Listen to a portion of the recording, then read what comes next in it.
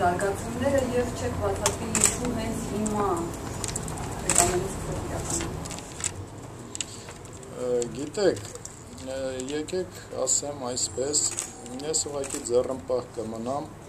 ավելյալ մեկնաբանություններ կատարելուց, որովհետև մի կողմից ամեղության կանխավարկած ասածը գոյություն ունենք եւ արգենք այդ կանխավարկածը,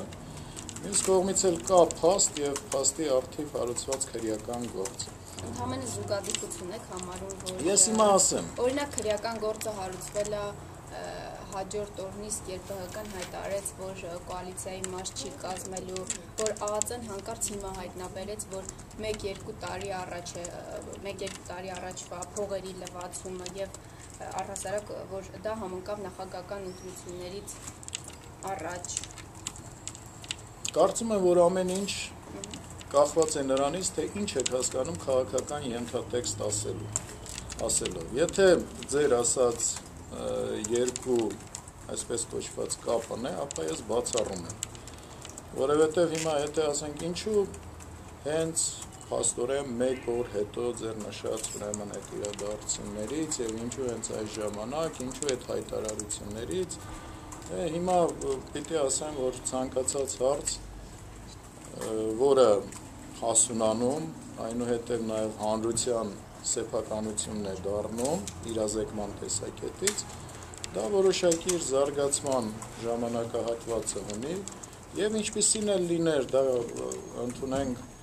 նմանատիպ հարցեր առաջանային կես տարի առաջ կամ կես տարի հետո, միևնույն է ես կարծում եմ, որ նմանատիպ հարցադրումներ եւս կլինեին,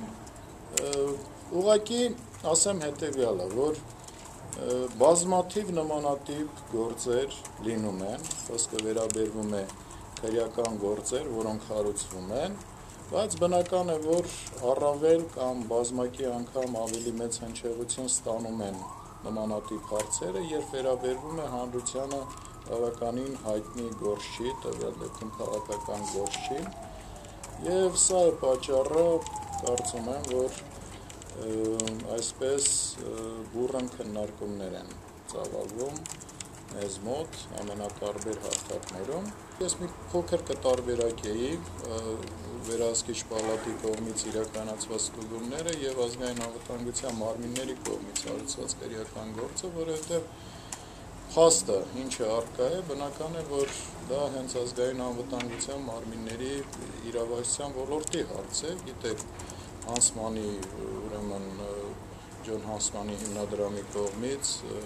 փոխանցված գումարների եւ այնուհետեւ այդ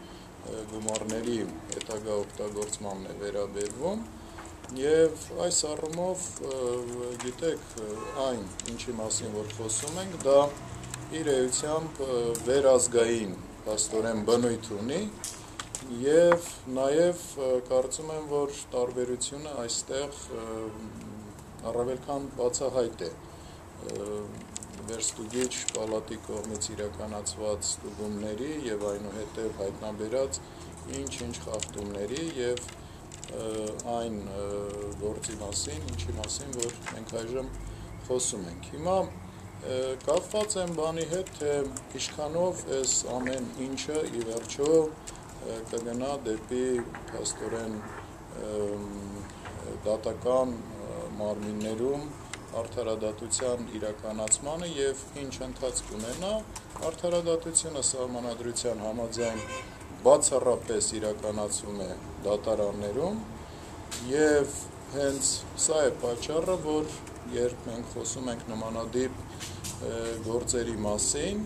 վերջնական խոսքը ինչ խոսք այստեղ պատկանում է դատարանին Դատարանների մասով պարոն Օսկանյանը իր հարցազրույցների ժամանակ կենտրոնով երկիր մեծա բազմիցս հայտարարել է, որ դատական համակարգը սուտ քաղաքական լծակ է իշխանության համար։ Կարծում եմ շատ ազնիվ կլներ, եթե պարոն Օսկանյանը իր պաշտոնավարման տարիներին նմանատիպ դիպուկ արտահայտություններ կատարեր եւ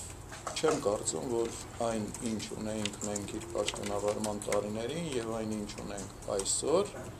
ամենայն դեպս իր պաշտոնավարման տարիների հայմատությունը իր օկտին դժվար թե խոսի։ Ես չգիտեմ, միգուցե իր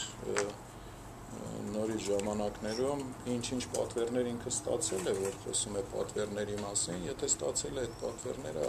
ապա լավ կլներ, որ պարոն Օսկանյանը բարձաբաներ, թե ինչ պատվերների մասին է խոսքը եւ կոնկրետ ուրեմն օրինակներով խոսեր, այլ ոչ թե ընդհանրական ինչ որ գնահատականներ, վերացական գնահատականներ, որովհետեւ այն ինչի մասին ինքը խոսում է, դա բավականին լուրջ ուրեմն արտահայտություններ են